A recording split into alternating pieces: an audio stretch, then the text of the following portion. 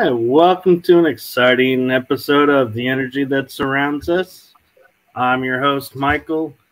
Carla is not going to be joining us tonight as she's not feeling really well. So we wish her well and that she gets some rest. And we look forward to her return next week. And as I mentioned before this, if you saw our post, that I did have some announcements. One announcement that I will make is we are live tonight on a new network. We have teamed up with etalk.tv. So, giving a shout out to them. And we are so grateful to be a part of their show. And our other announcement is we are airing our show live tonight on a brand new YouTube channel exclusively for this podcast show. So exciting things are coming for the show. So keep tuning in and subscribing so you can come along with everything. But enough of the boring logistics because we have an awesome guest with us today, Kathrine Sorilos. Hi, guys. Good morning from Athens, Greece. it's actually five o'clock in the morning. Well, we appreciate you getting up and coming on our show. I love your shows. I do. I love your shows and I love coming on them. It doesn't matter what time it is. yeah, and it's funny because people may recognize you from our old show. And I realized as I was playing the intro, that's the first time you've seen our intro. Yes, I've never seen the intro. This is the first time, and I was just like,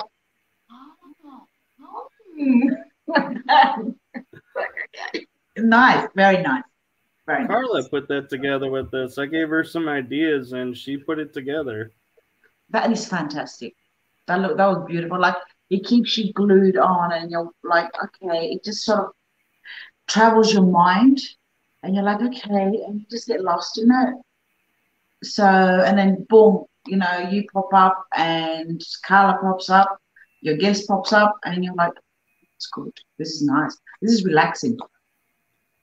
Well, I appreciate that, and I'm sure Carla will appreciate hearing that.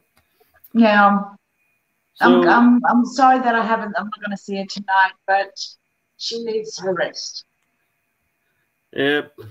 You always got to take care of ourselves. That's the one exactly. thing we think as hosts and everything that we're like, oh man, we got to be there. We got to push our way through. And it's like, no, we can take time for ourselves and take care of exactly. ourselves. Exactly, exactly. I was like when I was doing my show, my Greek shows, um, paranormal shows, and I had to travel to the radio station. There were times where I didn't know where to leave the kids. I had to improvise. Um, I was sick. My husband was sick because we're doing the shows together, and I was like, "Oh my god, I have to be there." So yeah. All right. Well, for those of you didn't know, Kathrine and I were talking a little bit behind stage of what's coming up, and I have to say, Kathrine has some really cool and exciting stuff coming up. Do you want to kind of give a little teaser to everyone of what's coming up for you? Well, I'm going to be doing the women's retreat that um, is held with um, by Jen Jacobs. Um, tickets are on sale on um, if you go into if you go into women's retreat on facebook you'll find it. Tickets are on sale there um, for the 25th and the 26th of june. Um, i'm going to be doing it virtually from greece. It is held in virginia. I'm going to be doing it virtually from greece for two hours um, each day um, it's it, I, I wish i could be there in person. There's a lot of people saying, "Oh, are you going to be there?" And I'm like, "I wish I could," um, but I'm doing it virtually, so it's exactly the same thing as being there. So it is great. It is women in the paranormal. It is the power of women. Um, we're going to have great psychics there, great mediums um, on at the women's retreat, right? They're going to be investigations.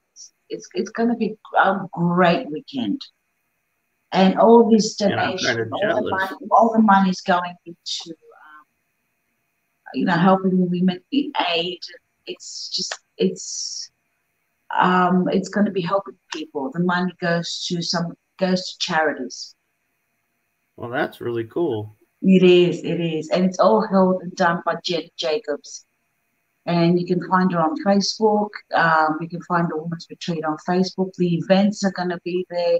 There's going to be some great people, Larissa, uh, Larissa Rex. Um, actually, I've got a little. If you go on my Facebook or my TikTok, I've got one of the little spots where I've done a little TikTok um, video about it. All the all the names of all the psychics, medium healers, crystal therapists are going to be there. Very, very cool. Mm-hmm. And I think she holds a, a men's retreat as well. I think she does a men's retreat. I'm not sure, but she does a men's retreat as well. So she does both. That's cool. And so I know also, you mentioned your radio show has been pushed to the side for yep uh, reasons. Yeah, it's been pushed on the side because um, hubby's start uh, is working on the weekends too, so it was hard for me to go and because um, we usually did the shows together, and um, you know when one's missing, the other one you know can't take its place. You know what I mean? Right. It was like how can I explain it? It was just when when we were on the air together, it was magical. It was full of laughter. It was about the paranormal. There were great ideas on it, great talks. But now he's working on the weekends too. So um, that's where I cut it back and I'm not doing it anymore for now. Wow. But um, I've got a lot of people that want me to doing like paranormal shows um, here in Greece, like radio shows. So I'm talking to a few producers and people that want me on their shows, um, actually doing the show. Well, that's exciting. Yeah. And also, I'm doing, um, I'm going to be in a few shows where I'm going to be involved in um, cold cases, like missing people, murdered people.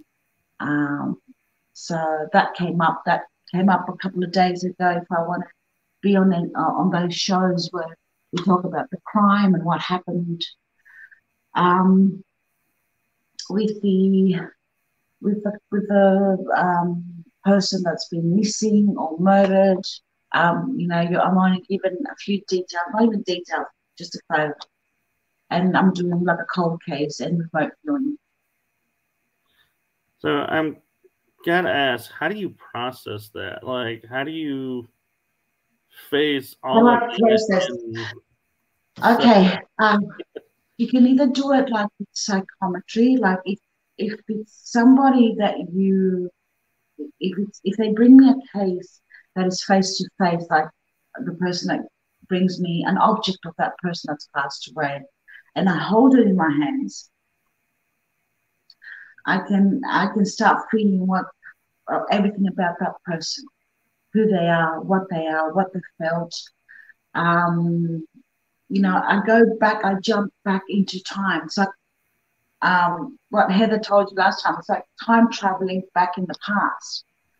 Um, it's it's called psychometry. It's like um, metria. Psychometry is a Greek word that is cut into two. Psycho is your psyche, is your soul. So you're reading that person's blueprint, that person's soul.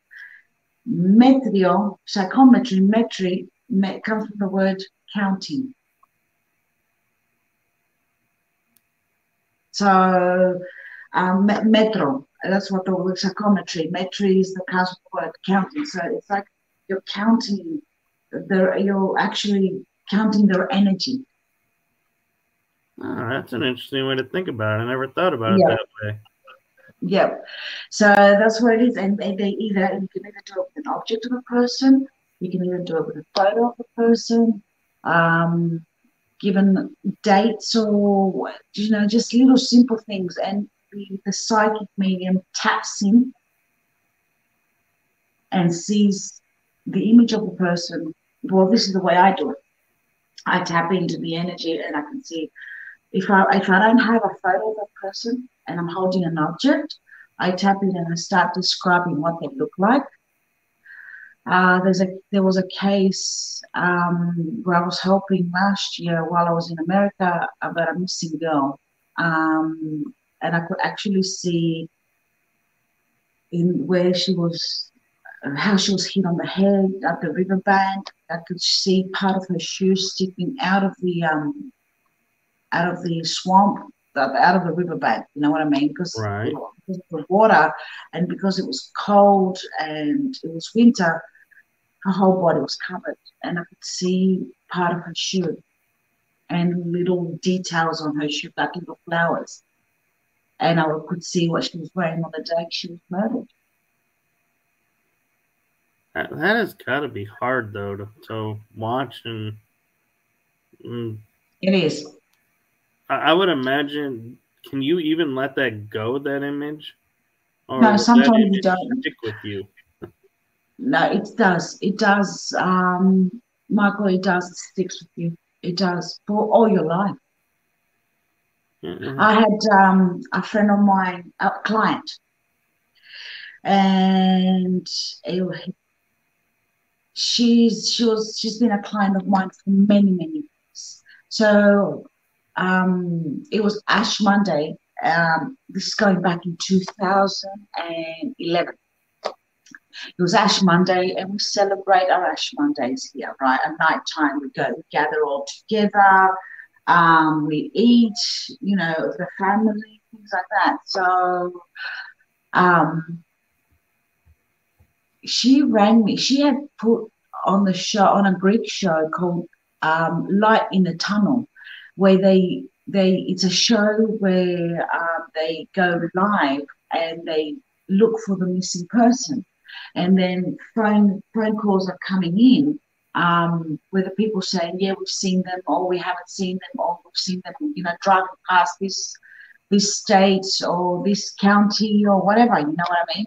So that show runs and runs for a few hours, and she she she wasn't getting anything from that show, so she rang me and she said, "I need your help." I said, Maria, that was her name. I said, Maria, it's 11 o'clock at night. She goes, please, Kathrine. She goes, Katerina, that's my name in Greek. Katerina, she's like, please, please, for my kid's sake, please help me. I said, what's going on? She goes, my ex-husband, not even her husband, my ex-husband is missing. They can't find him for three days. Can you can you tap in? I said, it's 11 o'clock at night, Maria. I've had a few glasses of wine how am I going to tap in? She goes, please. She was crying for much. She goes, I'm not getting any answers show. You know, we're going around in a, in a we're going down um, a rabbit hole from all these people calling and saying different things. I said, give me a few seconds. I said, let me go to a quiet corner. This is all on the phone. Let me go to a quiet corner and um, let me just tap in. I've never met his husband because it was her, her sorry, her ex-husband. I only knew Maria and um, one of the daughters. So I brought their faces in my focus because they were linked to the missing person.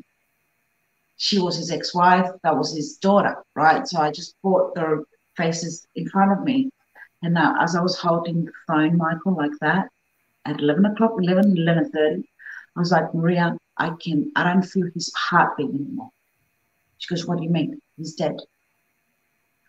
Um, I can see him behind closed doors. I'm seeing a big building. I'm seeing a lot of police, and I'm seeing lots of people. I said, and people with suits and and um, ties, and it's a big building. And he's he's not he's not alive. He's behind closed doors, but I can see water running, water, water, water running. Um, she goes, I said, well, where was he last time when, when, when he spoke to the kids? Where, where was it going? She goes, he had a court case. I said, people should check down at the court, at the, you know, go down to the court and check out what's going on. It was the weekend. Um, so weekend, Ash Monday is a public holiday here in Greece, so nothing's open. And um, she was that's when he was last seen on Friday at his court case. And I'm like, she goes, but people checked out um, you know, afternoon there was, you know, somebody went to the court to check out on, on Saturday, but they didn't find anything. But I said, no, you should go back to the court, the building, you know, and right. check and try and look further down the stairs in the toilets. I said, because I'm feeling water run.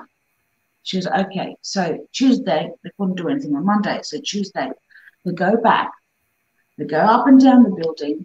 I've got Maria on the phone saying they can't find it, they can't find it. I said, go down the basement. So what had happened, he had gone down the toilet at the basement where not many people go down there.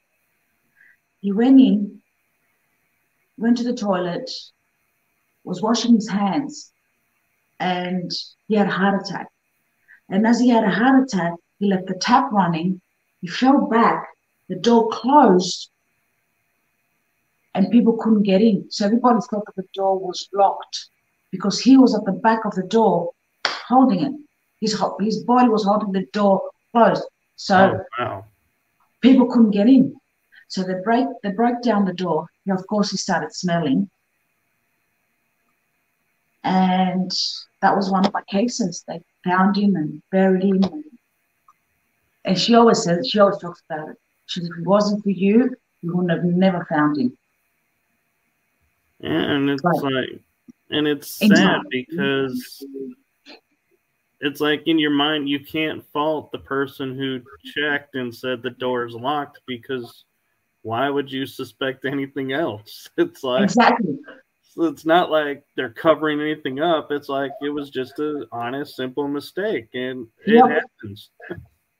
It happens exactly, and like you know, you don't. The, apparently, the toilet in the basement was was rare, rarely used. Right. So like he, he went he went down there. He, you know, he went down there. He thought, okay, there's a door open. Toilet. I mean, to go. He went, heart attack out. You know, part of me can't help wonder if he knew that was a rare spot, and he knew nobody would come and try and do heroic measures because they wouldn't find him, and so he was able to pass on his terms. Exactly. It could have been because um, I think he knew that the heart attack was coming. And the court case was not a very good court case. So yeah, you you've got a point there. You, you're tapping in. You're tapping in there. You're tapping in really well. So you've got a great point. Wow. I've always told you you're a great psychic medium. I know, and it, it, hits me at rare moments. Like I, I don't normally expect it, and it's like, wow. And it's when it happens, it's like that. That's really cool because it's like, yeah, it's exactly something I never would have thought of. yeah. So there you go. Whatever comes in your mind, first thought that comes in your mind, just jot it down and just say, yeah, that's what I'm feeling. That's what I'm feeling. Boom yeah. Well, Linda Judd just commented hello and she loves seeing you again. Oh, hi, Linda. it's good. It's good to see you guys at the on the show.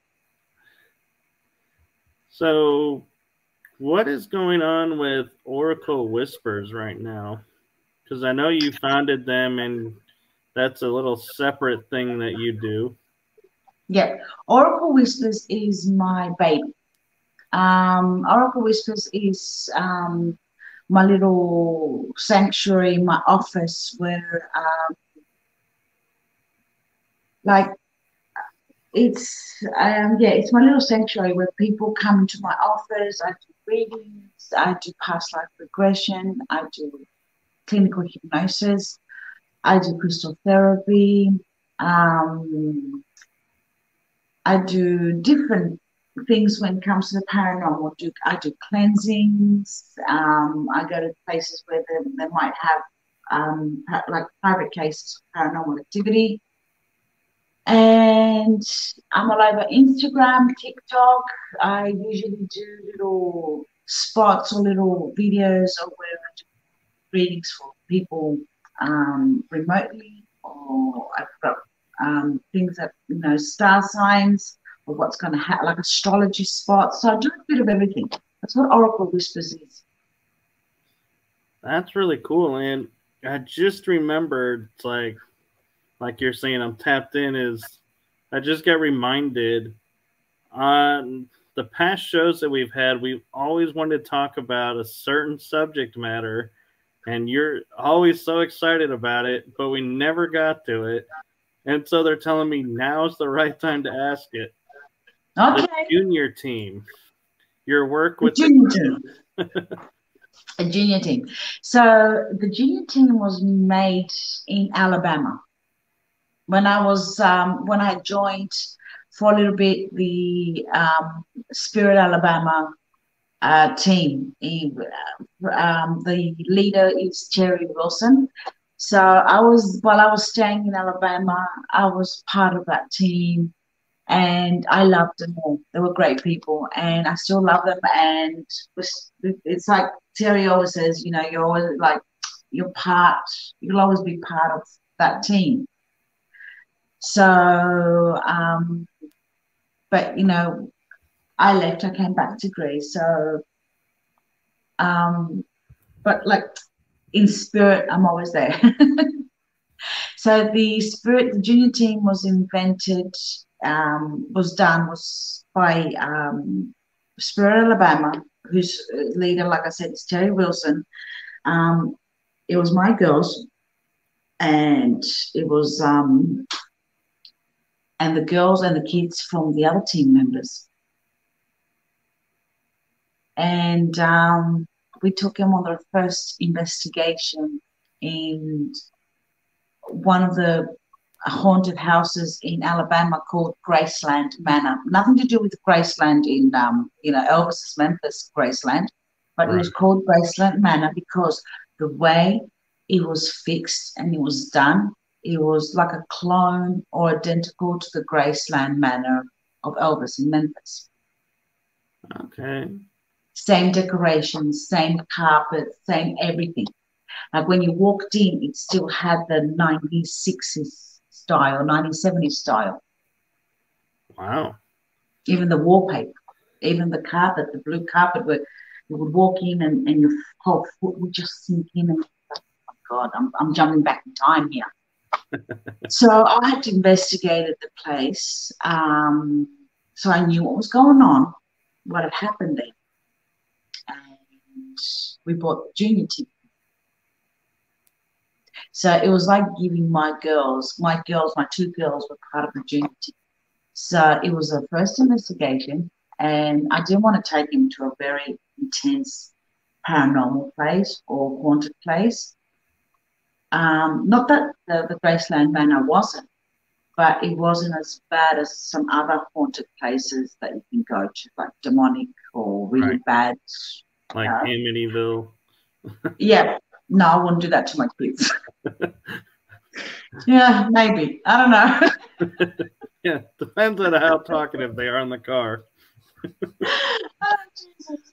Um, so I took him, took him there. So we, my oldest, Ippoliti, she's an empath, so she gets anxious. So she was walking in and she was like anxious and she was having a panic attack because she was feeling whatever was going. She was jumping back to time, so she was feeling what, what she was picking up. She was tapping in, and she was picking up different energies of, of everything, not just you know. She wasn't just going into one room and picking up that that energy and then blocking it and then going to another room because she doesn't know how to. She's just learning. So I, she's raw. She's still raw. So I let her going there. I was right behind her. I was right behind every child that walked in and did the tour around the house.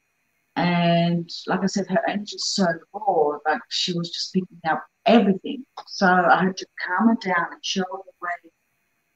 Walk into a room, pick it up, you pick whatever's there, you close it down, you go to the next room.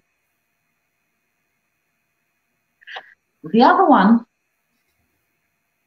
the nine, my youngest one, she sees the dark side. So she would walk in, she's more cooler. She would walk in the room, she'd be like, Yeah, this person was gutted here. And I was like, What do you mean, Panay? And she'll be like, Yeah, I can see his intestines hanging out and there's blood on the floor. And I'm like, Oh my God. she goes, There's a piano here at the piano. There's a there was a room where they were playing, there was a big piano. I can she goes to me, I can see she taps in like you know, you know, like, you know how you do, she jumps back to time. Goes, right. I can see I can see people dancing. And this guy is playing the piano and actually he's not playing the piano anymore because his head is twisted like that. His his his uh, hands are twisted, they're broken. There's shots in here. People are dead. There's blood running, and I'm like, enough. and the thing is, I didn't put them together on the tour. Each child was touring the place separately. I would have them outside, and I'll take one child and I'll take them around the house and I'll say, okay, what are you, what are you getting? And I'll let them just speak. I've got, I've got that on uh, EMF, EMF radio um, EMF radio, sorry, on a little um, cassette, um, an EMF, you know, EVP, sorry, an EVP recorder. I've got on EVP recorder, all the conversations and what they're seeing. And um, each child separately, but the stories would connect. So they were tapping into each other. They had great telepathy between them. What I did was I found an old journal after we did the tour and everybody was giving me their, their answers and their answers were very, very similar. Like they were parts of the puzzle put together. Um, which that was really good, which means that the old kids were tapping in, all of them. Even um, Terry's grand, like um, it was actually Terry's granddaughter too and she was and another little kid, another little girl. They were all getting my daughter's um, Savannah, Terry's granddaughter, another um, little girl. They were all getting same information. So what I did was I found a journal. I said, "Here, I've got you now." So I found a, I found a journal in place. It was an old journal. We took we're talking back in the early 1900s. And I mean, you could do it like that, Michael, and and it was just breaking, you know, in pieces. That's how old it was. So yeah, it was very fragile. I had opened it up, so I knew exactly what was in the journal. So I, I left it in front of the girls, and there was um, Equality, Lanai, Savannah, uh, Rose, um, another girl, um, who's 16, and another boy that was 15, Dave Daniel, I think I can't remember the name. So I left him in front, in front of them, but it was actually the youngest ones that were getting a lot of stuff, like my girls, Savannah and Rose, the young kids, because the other ones were over 16. Um, and I'll talk about that in a minute. So they will look, I said, don't touch it. Just let me know what you see. Don't open it, don't touch it.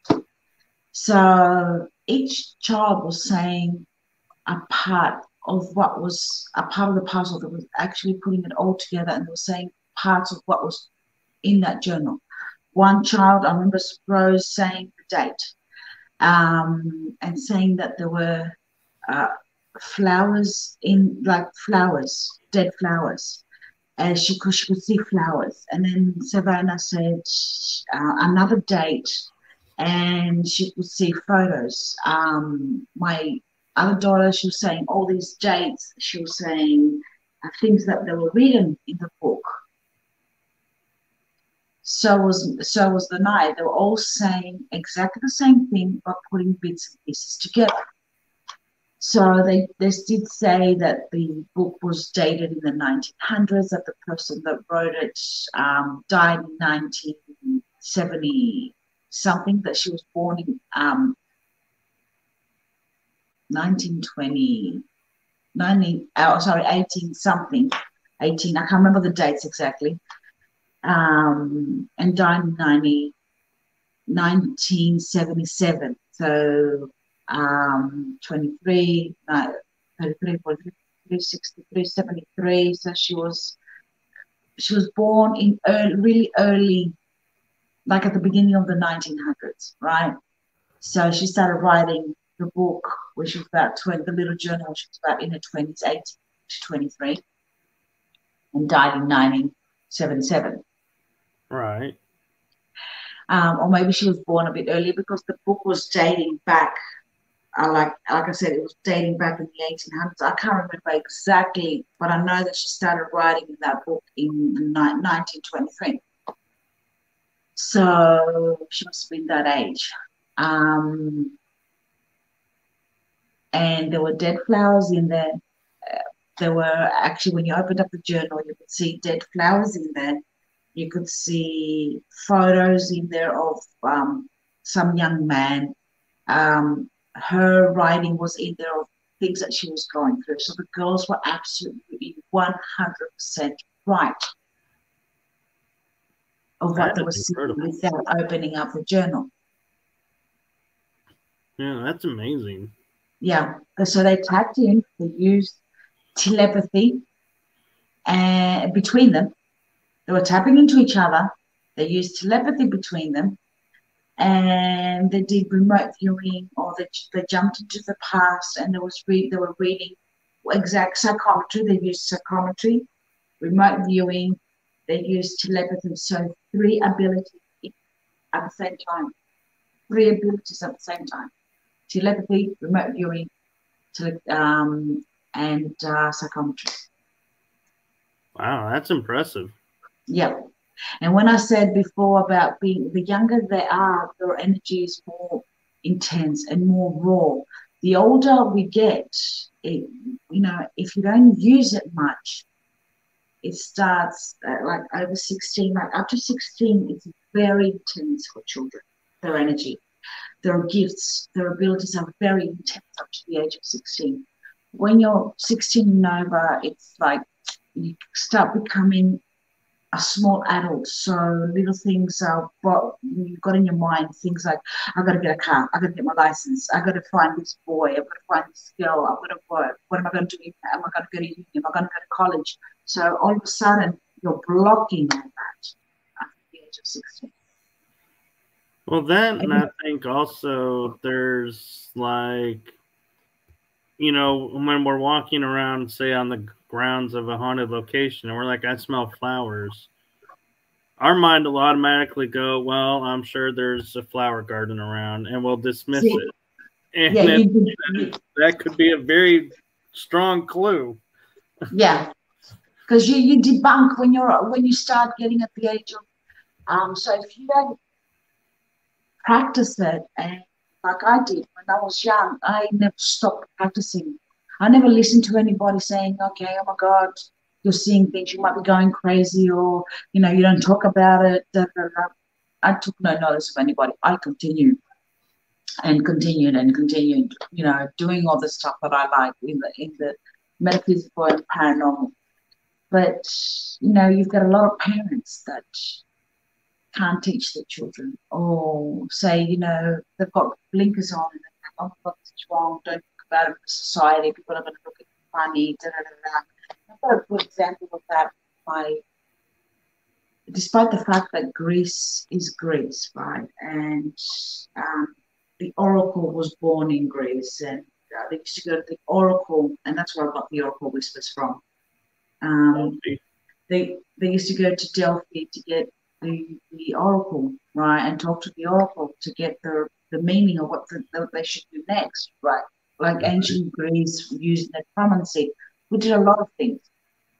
Um, now they've got blinkers. See, my daughter, and I, she's very spiritual.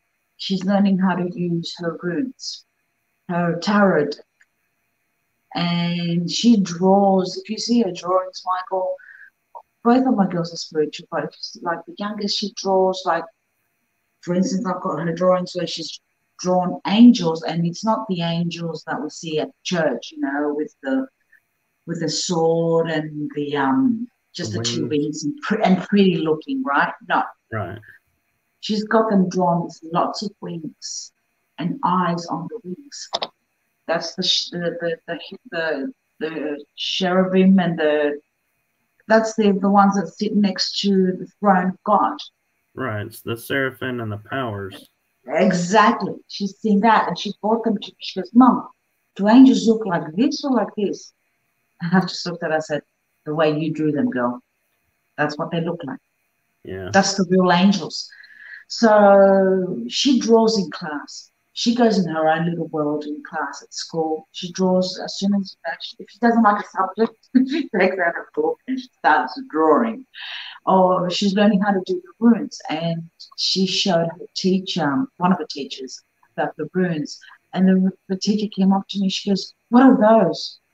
I said, "She goes, what are those symbols?" I said, "They're not demonic." I said, "Relax." Yeah.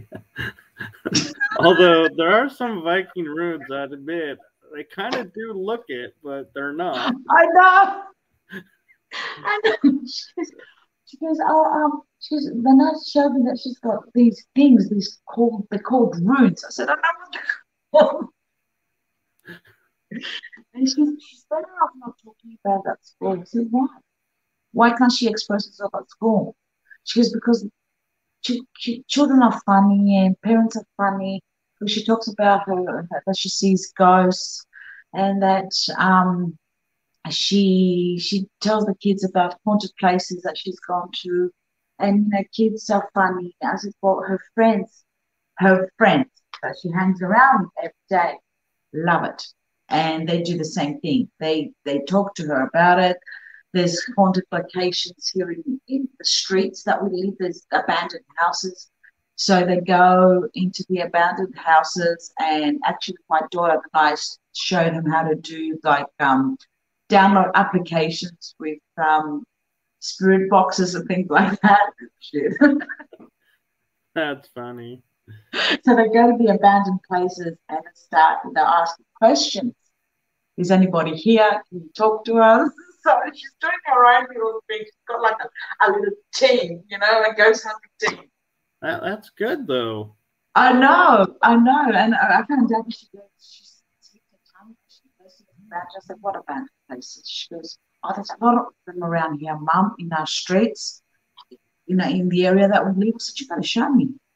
But she goes, every time we go there, you know, the neighbors come out, don't go there, don't do this. So we sit outside, she goes, and we ask questions to the ghosts in the house. Went, okay. But the teacher actually turned around and said to me, she, it's better if she doesn't speak about it at school because kids, as said, her friends are doing exactly the same thing that she does, her good friends. Now, if the other kids are scared of it, I had to tell my daughter, honey, shouldn't talk about it at school. Don't talk about your runes. Don't talk about your investigations. Yeah, don't talk about it's the same way here. Yeah. In the 21st century, Michael. We're still 22nd, whatever the hell we are. Huh? As if we're still in the dark ages. I know. I'm Middle Ages, not the Dark Ages.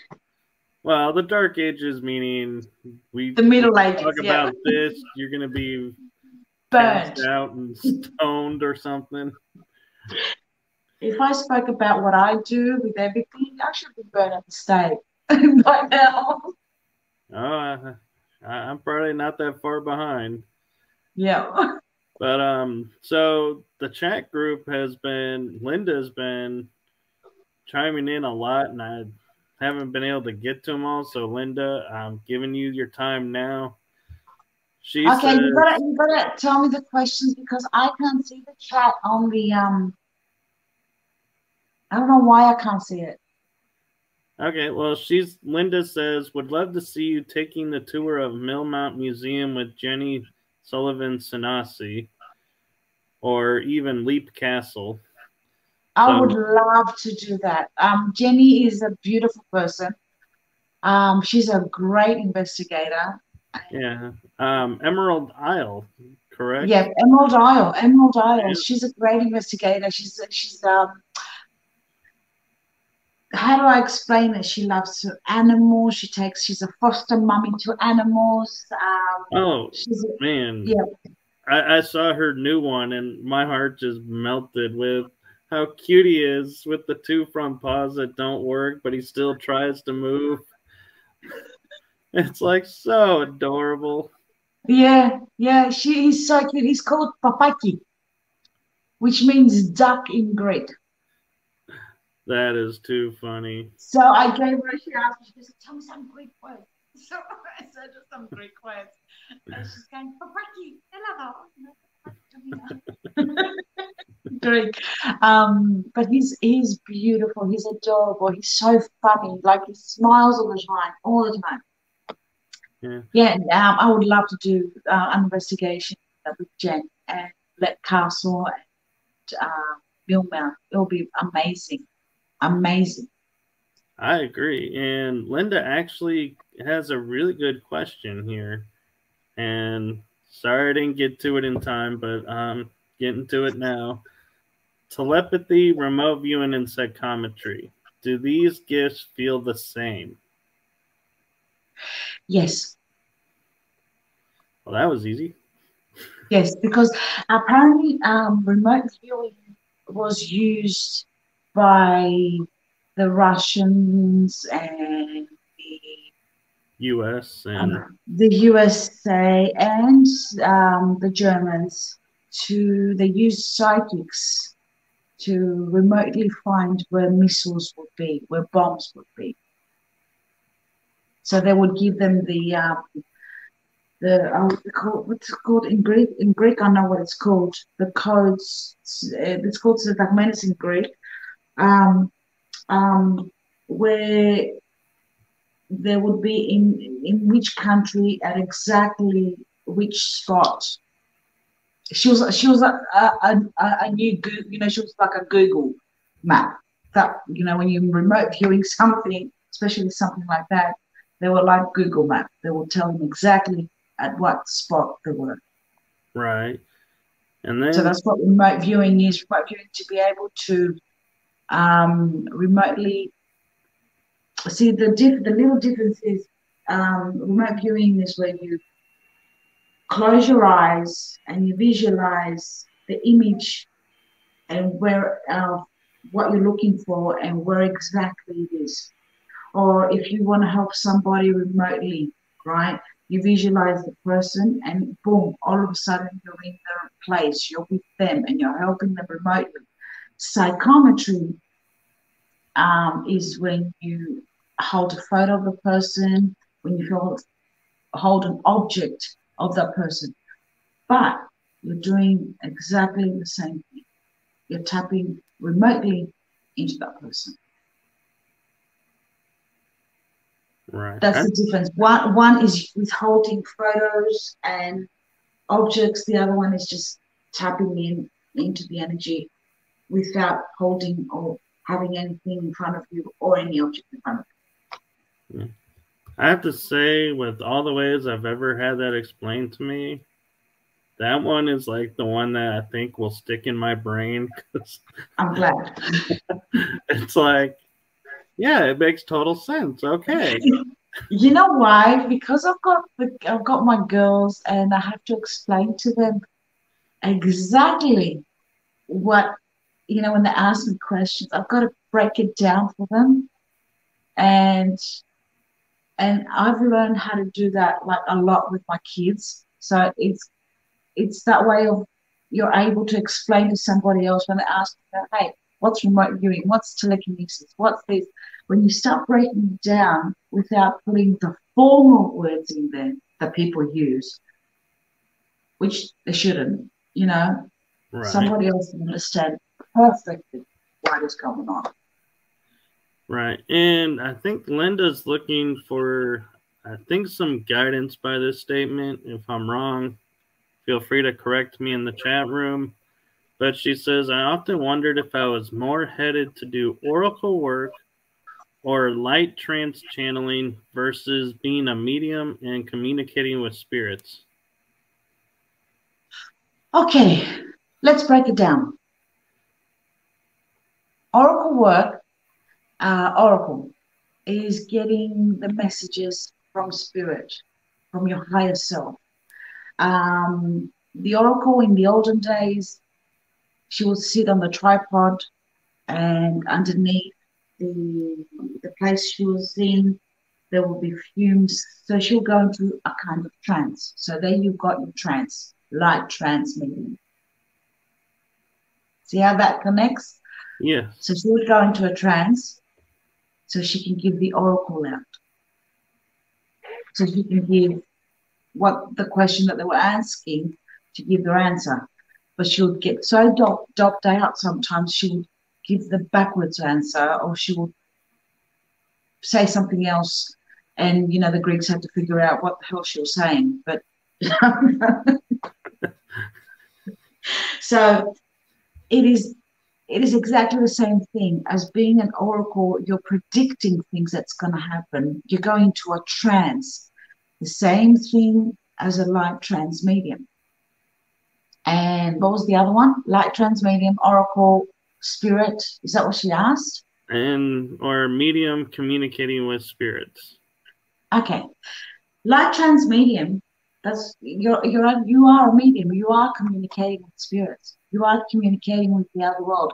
A medium, even if you're called a light transmitter, even if you're called um, um, um, a physical medium, even if you're called uh, just a medium, you're a medium, which means you're in between worlds. You walk amongst many paths. So you have communication with spirit, even if that's the deceased people, even if it's um, entities, even if it's celestial entities. You're open. It's like you're, you're a receiver, non-stop open. Right? You've got the radio open, tuned in, and you're getting information right, left, and center.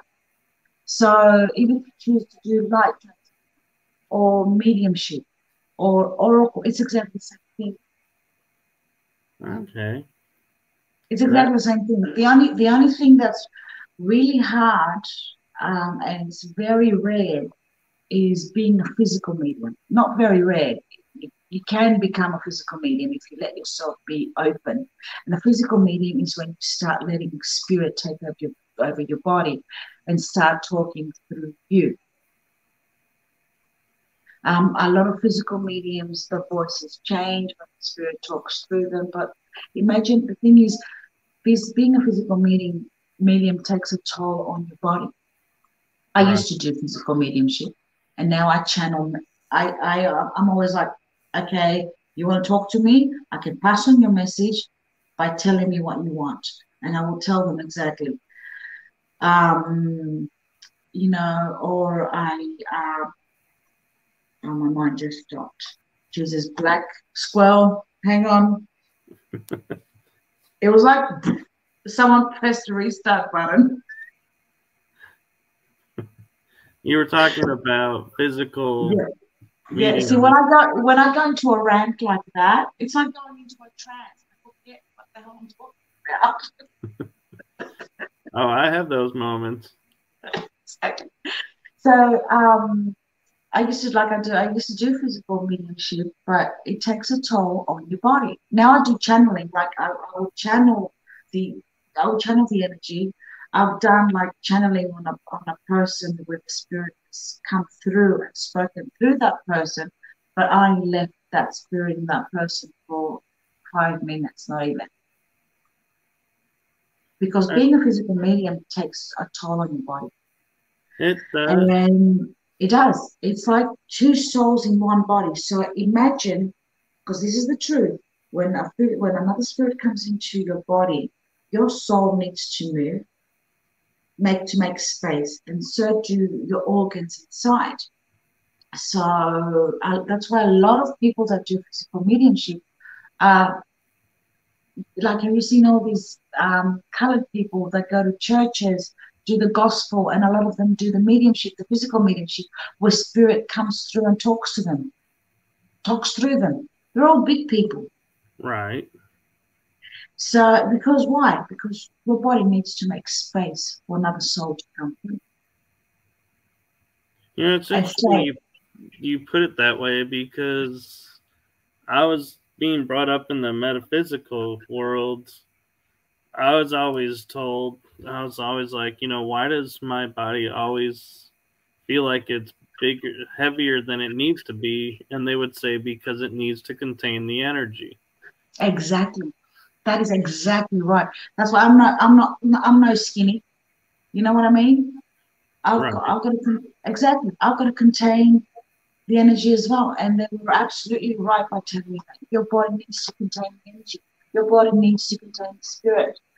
Um, and whatever's coming through your body. So that's what, I, but it does take a toll on your body because your intestines do move inside. And a lot of people that do physical mediumship, because like I said, there's a lot of people out there, not, it's rare, but there's a few people out there that do mediumship um, they actually do it, like physical mediumship. And um, there's a lot of them that have passed away at an early age, like in their 50s. And your body hurts. Your organs, your in, internal organs actually hurt. It's like having a baby every day and it's growing from zero to nine months and then you're giving birth to it. Can you imagine what happens to your organs when you fall pregnant? Mummies that have had babies know what happens to our organs when we fall pregnant. But imagine doing that every day as a physical medium, or once a week, or wow. twice a week. So I think I actually did do physical mediumship once when I was channeling because there was in the group I was with, I I knew my voice altered because mm-hmm. people had told me that, which is really hard to do consistently. If you've ever tried that, it is really hard. So you can't fake that. But no.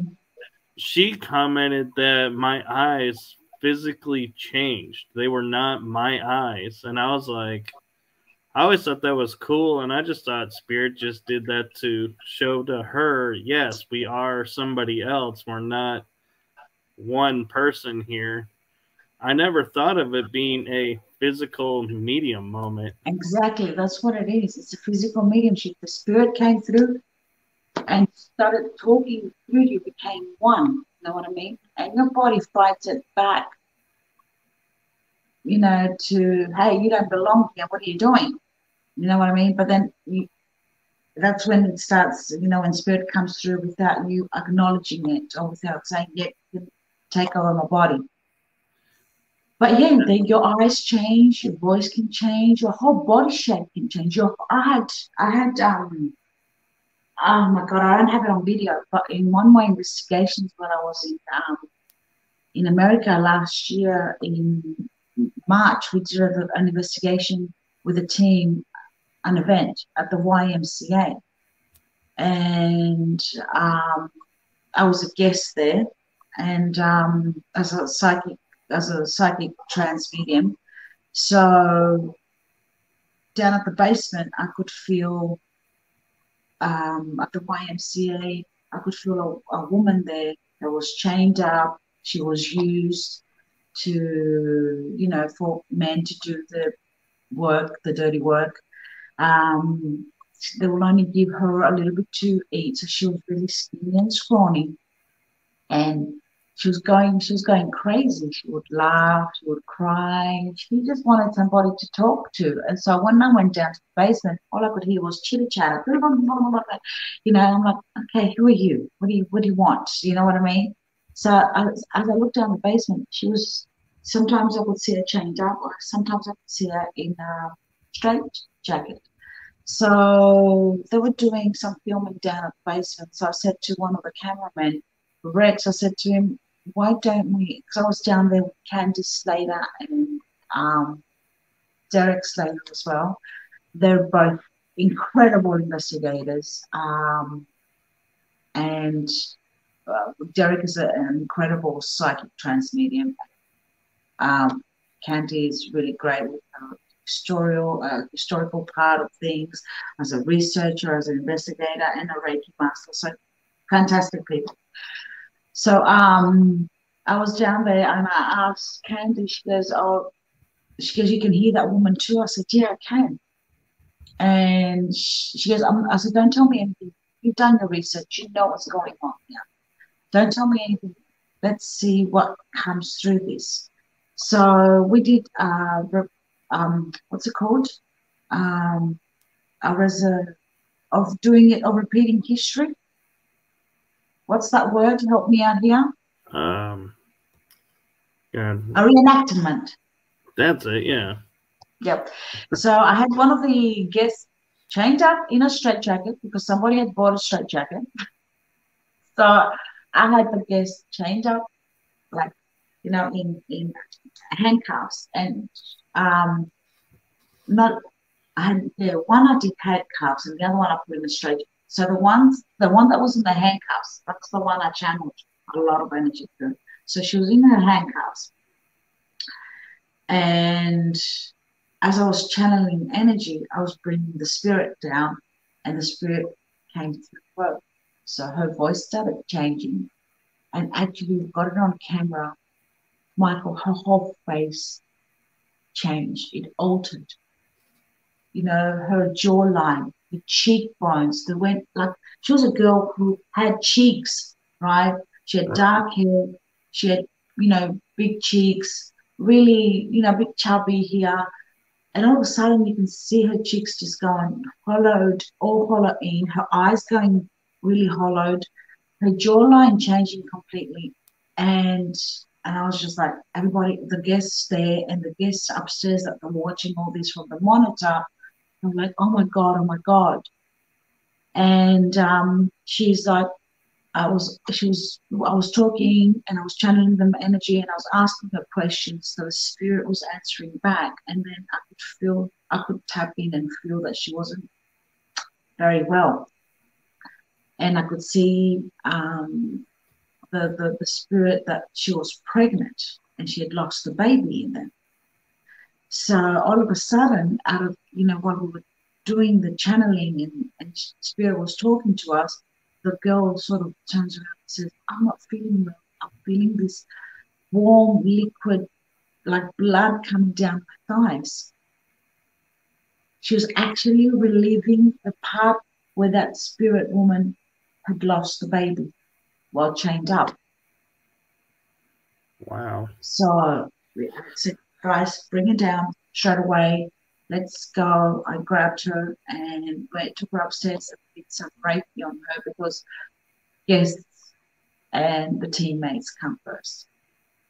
Right. And then the investigation. So I made sure that she was okay. And then we continued on the investigation. Right. So we're actually at our hour, but there's a few more questions in the chat group.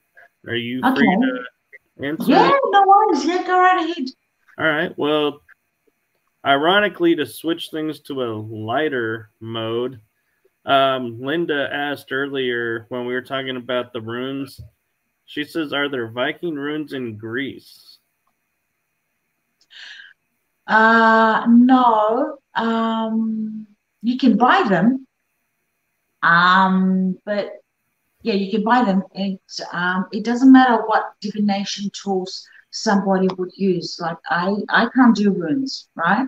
I can do tarot, I can do um, the pendulum, I can do different other things, but I can't do runes. My daughter's good at runes. So everything like that, tarot decks, pendulums, runes, the Ching, I Ching, whatever it's called, they're all divination tools for the psychic medium. So right. yeah, um, those runes were actually um, drawn. I do. I, I've got a teacher. He's a shaman, so I'm doing my shaman journey to become a shaman. So like shamanism. So um, he drew the runes for her, blessed them for her, and gave them to her. He actually Wow. brought brought little little stones from Norway. I honestly would have thought there would be runes in Greece because we have runes here in America. Yeah, we do have runes. You can go buy the runes. You can, but these were handmade, Right. Oh, I and and Yeah. the stones were and the stones are from the place where the where the runes were born, where the, um, the history of runes were born in Norway. right. Yeah, and I, I was also meaning like places where the Vikings actually left their runic language on the land.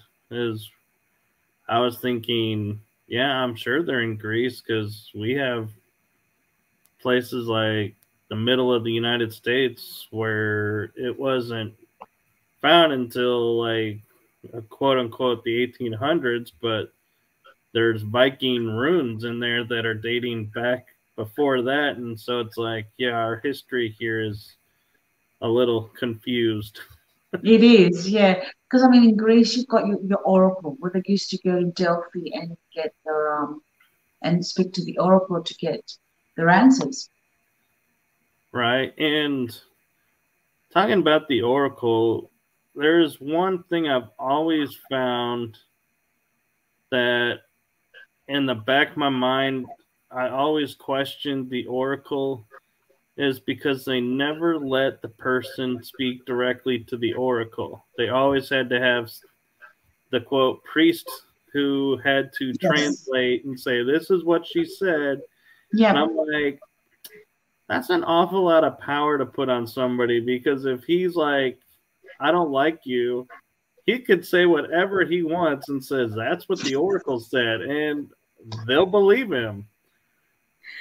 well, no, actually, I um no, they wouldn't do that because they were sworn to Apollo. So if they lied, they were scared of the god's wrath, you know. Well, that's Um, good to know because I always thought it's like, you know, somebody was like, Yeah, you're a bad leader. Yes, go to war. We're in favor of the war. And the oracle's like, No, you're gonna die. No, no, no, no, no. But the, the oracle would say things backwards or would say things metaphorically because she would, I don't know what the hell she was smoking. She was smoking something. methane gas is what they think from yeah. And she was actually chewing on bay leaves. Bay leaves um, is, uh, it's like a psychotropic kind of, um, you know, if you start eating them or, you know, burning them, you, you go into a, a, light trance, you know what I mean? right So that's what they used to say that she used to chew on, on bay leaves. Um, but I think it's the whatever fumes were coming out from underneath the earth and she would go into a trance. And she would Yeah. she even she said to them, it was at the Themistocles, she said that you need to hide behind wooden walls with the war in um, Athens in in, in um not the Thermopylae, Ellipsis, that that wall, that the war that was on um, no Salamis, the, the, the yeah. Okay, I'm trying to remember my history here. So what they did, the the Athenians, they built a wooden wall in Athens, so Xerxes could not, the Persians could not invade.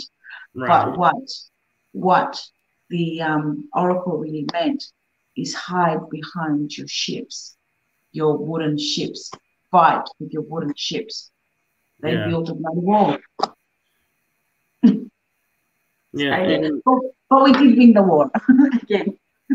i will say as far as like historical accuracy and everything i feel like the movie 300 really portrayed the oracle going in the trance really well and like Yes. movements and everything and how they would inter and you know maybe not necessarily how the priests interpreted it but her role i was like yeah they were secluded they were Yep. kept away from everything it was a journey to get to the oracle Mm-hmm. So i think that was like one of the major points of that movie that i was like i was really impressed by because i was like yeah that's really what it was like for the oracle Yep. Yeah, that's true. That's how it really was. That's how it was. That's how it really was. Yeah. So yeah, and apparently there were virgins that were not supposed to be touched by men. So right. they had to be pure. And they were taken at a early age, selected out. Yes. Yep. All right. So it was it was a hard job being an oracle. Which leads us to Linda's next question, which it's kind of funny because we're going from or we're jumping around topic wise we're getting caught up, but she asks, "What's the easiest way to raise your energy and frequency level?" Oh, okay. Um, you can do it through meditation. You can do it by doing um, like chanting. You know, have the the priests in Tibet do the chanting like om, like really lifting up your energy by chanting, um, and uh, listening to frequencies of hertz, like different hertz um, frequencies. Frequencies. So you can lift up the frequency at that point. You need to raise the energy. So you can do it by praying, you can do it through chanting, you can do it through meditation. Um, you can do it by listening to um, different hertz. So yeah. Yeah. And so uh sorry, I'm trying to I'm seeing something and I'm trying to think she says, Wow, bay leaves, but can't the oracle work be done without an additive?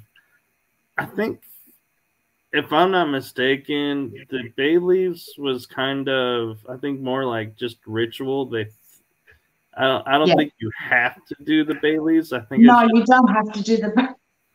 It's like a ritual of no, what I, don't, I, don't chew, I don't chew on bay leaves every day, no, at all. I put them in my lentil soup. Um, but yeah, I, I do like a lot of bay leaves. We, bay, bay leaves and greens is a big thing. So we cook all a lot of our sauces, our red sauces, a lot of um, like lentil soup. We do put a lot of bay leaves. It doesn't. It just it breaks away the, the smell of whatever you're cooking. That's what bay leaves do.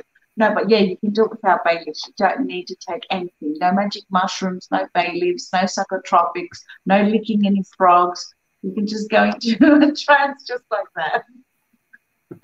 She says, I'll start eating lentil soup with bay leaves. Lots of laughs. you, you can. I find so a lot of things in history, like Linda made the comment, getting firsthand you know, is really cool with history is you and I both know, you know, we both have studied the histories and the, the mythos behind it. And it's always interesting how there's little tidbits of what is real, and we feel like we have to embellish to sell and make it sound better. And it's like, no, the little known fact, like you know, the like the Thermopylae battle. You know, they stood up yeah. and said, you know, enough, and yeah, they won on the na- with the Navy, which was unexpected. Mm-hmm. And it wasn't, you know, oh my gosh, you know, everybody joined. No, it was a few people actually, and there's so many times in history where few people from the culture stand up, say enough is enough. Exactly. And causes change. We exactly. always think we have to have the majority, the masses to make change. And it's like, no, you just need that little spark. Yep. That's true. That absolutely that is absolutely true. But I will say though, you do get a better movie when you have more than just a few people. you do. But you know what? There was only 300 of them. There were 299 plus 300 with Leonidas. There you go. Right, that's right. And there were 10,000, 10, yep, 10,000 Persians. 10,000 Persians at the Thermopylae. And yeah. 300 Spartans. And I will say, as much as, you know, the Spartans come off as arrogant and like the masters of the land and everything, that actually is who they were. It's like exactly see like the Athenians or the Macedonians or you know mm-hmm. the other cultures coming in and saying you only sent 300 and he's like well what's your profession? He goes well i'm an artisan. What's your profession? I'm a poet. Exactly. spartans what's your profession? And they just yell out a battle cry. It's like yeah that exactly because hundred of them is worth like four thousand of you. exactly. They were trained. They would take the children from the mothers from the age of seven. They were trained from the age of seven.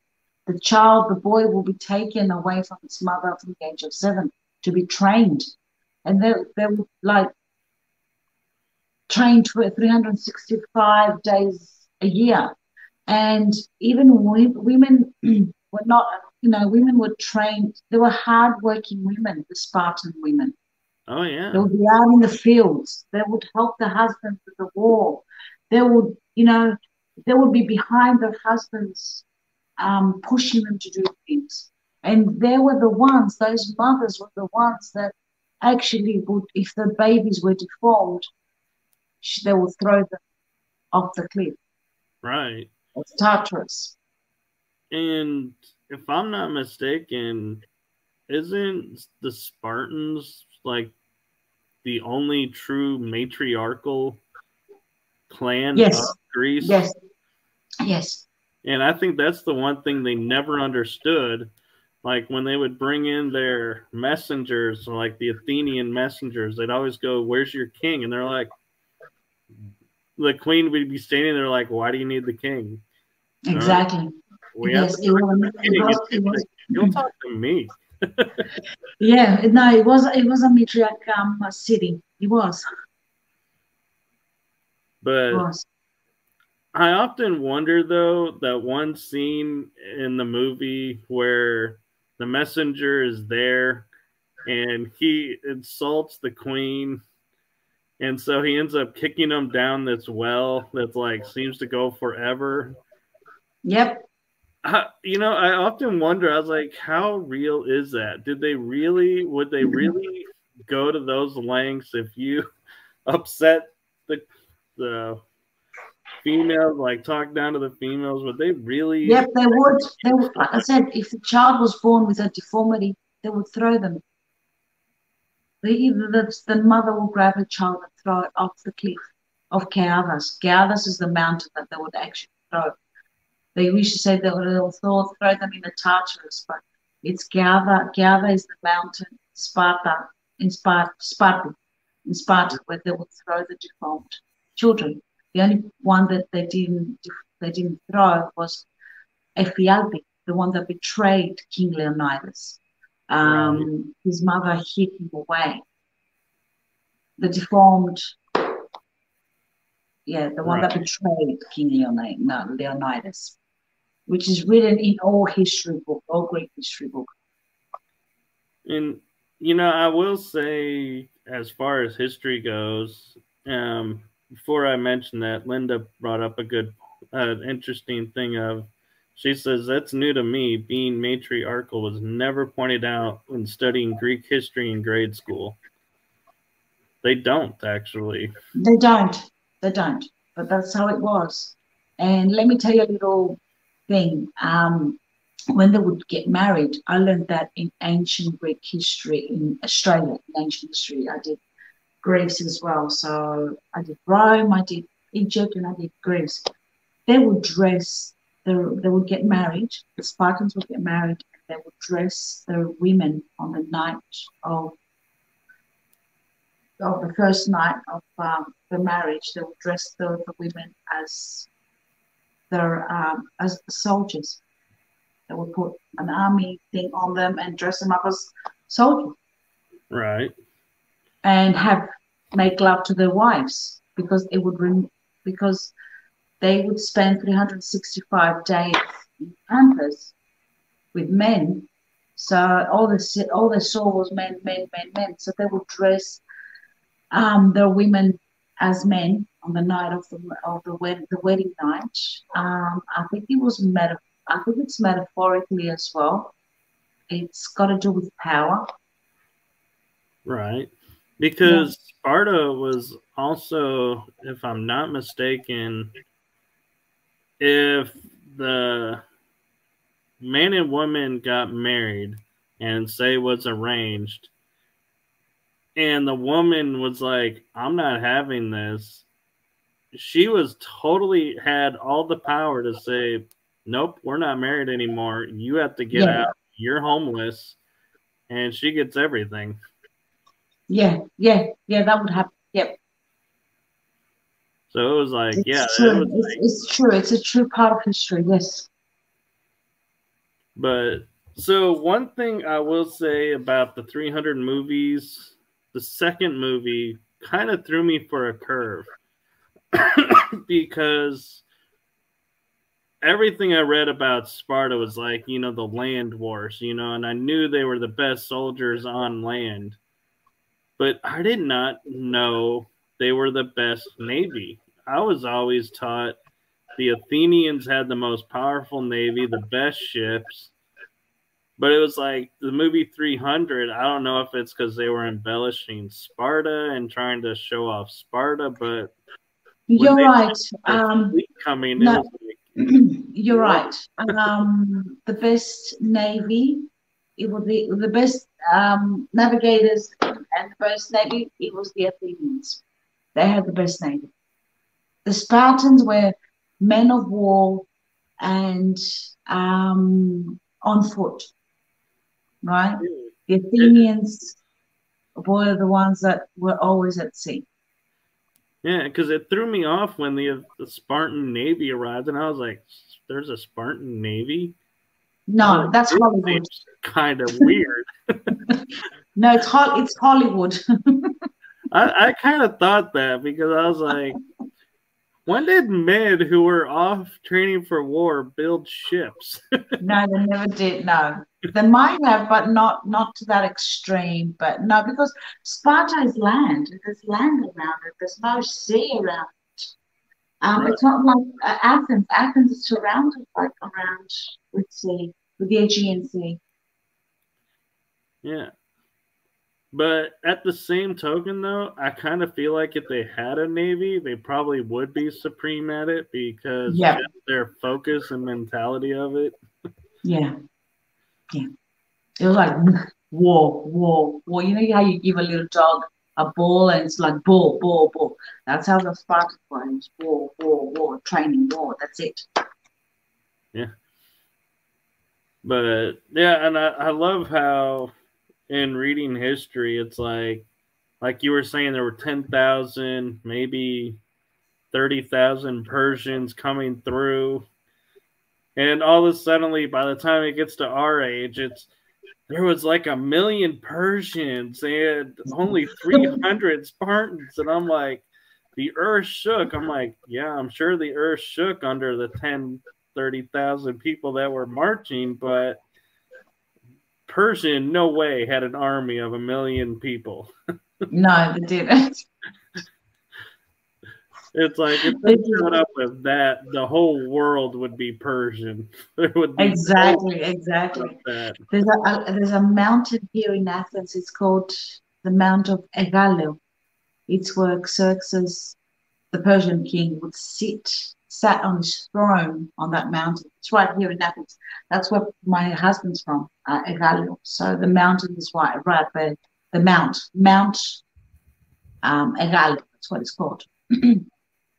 so, so Xerxes, the king, the Persian king, will sit on his throne on there and watch the war of the Battle of Sin from Salamis, Salamina and um, uh, Elefsina, the two uh, what the two uh, battlefields that were done on water. So he will sit there and watch the battlefield.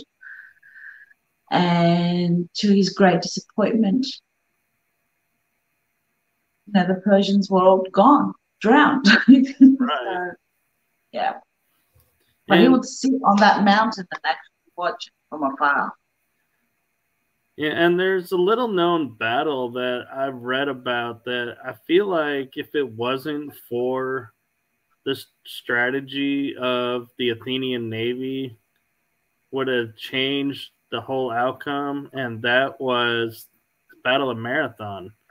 I really think the Persians yep. would have taken the field if That's the Navy had survived. But when they watched the Navy being crushed, you know those troops on the land had to sit there and go, "Oh crap, we're yep. now alone, cut off in enemy territory with no supplies. This is not good." And you exactly. know they probably were like the Greeks were like, "All right, we now finally have the upper hand." True. True. No, those were great battles. And actually, if you ever come to Greece, you'll see the statues that we have or of our heroes, the ancient Greek heroes, and each um, it's like a gate, a gate or a gateway. Uh, uh as soon as you enter the city of Thermopolis, of Marathona, of um, Salamina, of Ellipsis, we've got statues there of our Greek heroes standing and little things of what happened and how it happened. Um, labels. Yep. So Linda says, every time you're on, Kathrine, I'm always amazed. Bless you and lots of loves. Thank you. And she had to say goodbye because it's late. Yep. So, hello, Howard. He's our he now runs our network. So, hello, Howard. Just having a fun chat about history and all things Greek. Apparently now. Mm-hmm. yep. Which you can't ask for a better source to you know get the truth on. From a Greek. But so oh howard's pointing out that um if in October, the last weekend of October, I believe it's the 26th, 27th, 28th. Yep. Want to come to New Orleans? We are doing a Fear Fest. It's going to be a huge paranormal event that we're putting on. So definitely you can get tickets, I believe, at fearfest.com is the website. If I'm wrong, okay. correct me, Howard and looking forward to that event. And so, yeah, we're uh, approaching wow an hour and a half. Yeah. Do you have any other big events coming up? Like no, no big events, nothing. Um, like I said, the one I was going to do was for the women's retreat. I could, I wish I could fly over and be there. Like there's a lot of people that would have liked me to be there, but uh, I wish I was there as well. But it's a bit hard to fly over there now at the moment financially. But um, maybe I should take you up on that New Orleans one. I, I, I always like to visit New Orleans, so maybe I should take you up on that. So no big events like physically being there, only doing like a lot of podcasts, like the missing people's um, um, and cold cases. That's about it. Awesome. And my Oracle stuff. well, we'll definitely send you information about yes, please. Fest, New Orleans. And yes, please. so once again, just you know, letting everyone know, you know, we are so so proud to be a part of the Paranormal United Network and Parapost. They're hosting the Fear Fest 2023. So come check it out, and you'll probably get to meet most of, if not all of, the hosts on the network. I believe we're all coming to check it out, but yeah. Um, So you mentioned being on TikTok. Where else can everyone find you if they have They any questions? find- for you? Okay, they can find me on TikTok as Oracle Whispers. I've got two. I've got Oracle Whispers and I've got Kathrine Sorilos as well. So either one, but mostly I usually do put all the events and everything on Oracle Whispers. Uh, they can find me on my Facebook page um, called Oracle Whispers by Kathrine Sorilos.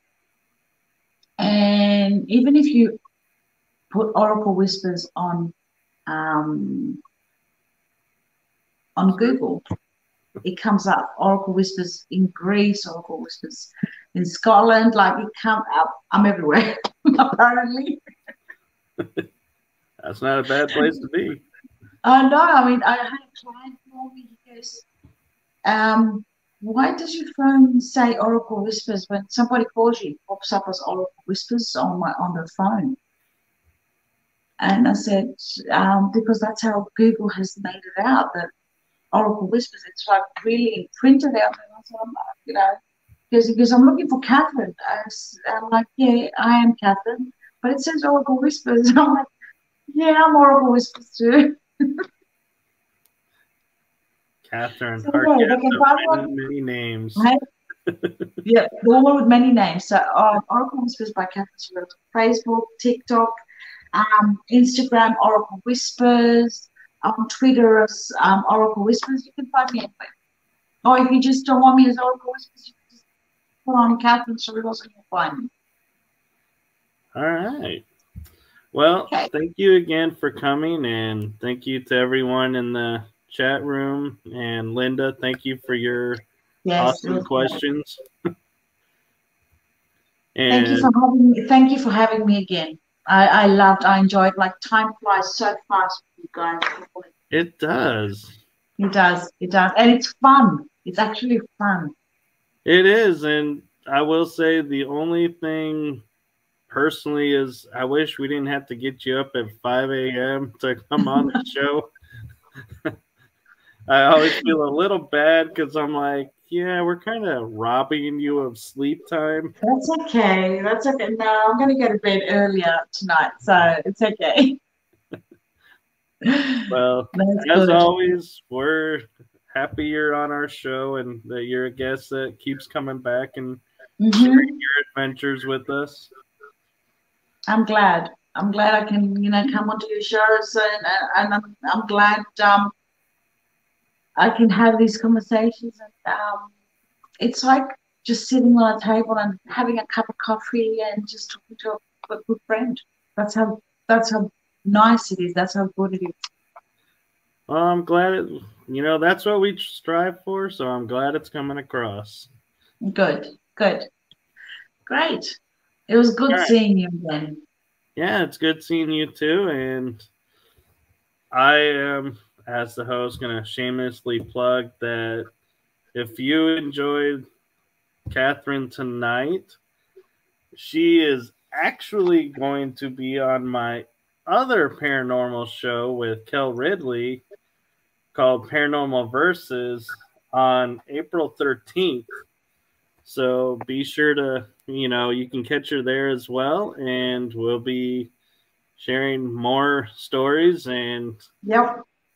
Probably be having more fun conversations about history. So yeah. stay tuned and Mhm. tune in for that if you're interested. So Awesome. I won't keep you anymore because I know you got things to get to in the it's morning time. So Yeah, the, the girls will be up very soon. You know, breakfast, um, getting ready for school. ah, the fun life. I know of being a mum. All right. All right. It was it was great. Thank you guys. Good night. Thank you. To, Good night. good night to you guys. Good morning to us. bye bye.